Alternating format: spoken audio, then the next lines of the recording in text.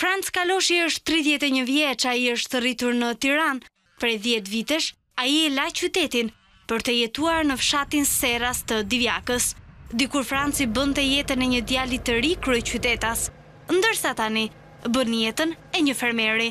Punët në fermë i nis që në orën 6 të mëngjesit, si fillim, ai kujdeset për stallën e gjedheve, më pas është radha Që patave t'u hidhet ushqimi. Unë kam lindur këtu, në ish-kampin e internimit Sektor Gradisht. Familja ime, pas viteve nëntëdhjetë, time u largua në Tiranë për një jetesë më të mirë dhe unë atje kreva dhe vitet e shkollimit dhe u rrita, por pashë që Tirana nuk premtonte shumë edhe iu vura prapa babait tim. Ne administrojmë një sipërfaqe prej rreth dyqind e pesëdhjetë hektarë tokë bujqësore, mini kompleks mund ta quaj, fermë, blegtorale dhe bujqësore të ndërthurëse. Çfarë të tërheq kaq shumë tek bujqësia? Po më tërheq sepse është një diçka që lulëzon përditë dhe e shikon me sy, domethënë një diçka që rritet përditë. Tridhjetë e një vjeçari thotë që nuk do të largohet kurrë nga Shqipëria, edhe pse ai ka pasaportë amerikane.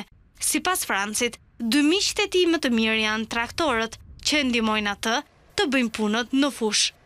Kjo është një parcelë eksperimentale dhe do mbillet ushqim për blegtorinë, jonxhë. Ti më the që ke dyqind e pesëdhjetë hektarë tokë, si ka mundësi, si e menaxhon një hapësirë kaq të madhe? Tani Franci nuk është vetëm, e kupton, Franci ka shokë, këto janë shokët e Francit edhe këta e bëjnë domethënë punën kryesore. Djemtë e rinj mendojnë të shkojnë larg Shqipërisë në emigrim, ti e ke menduar ndonjëherë që të ikësh nga. Kryesisht domethënë të rinjtë kanë qejf vetëm mendojnë që të shkojnë në Angli edhe në Amerikë, unë faktikisht ka pesë vjet që e kam pashaportën ose vizën për të shku në Amerikë edhe nuk shkoj, mendoj që ky vend do zhvillohet, mendoj që këtu do ndryshojë. Sa nga shokët e tuaj përkrahin idenë tënde për të ngritur të ardhmen në fshat? Kur kam qenë në gjimnaz, mbaj mend që më thoshin erdhi maloku dhe erdhi ai që merret me lopë. Unë nuk i dëgjova shumë ato thirrje dhe vazhdova tezën.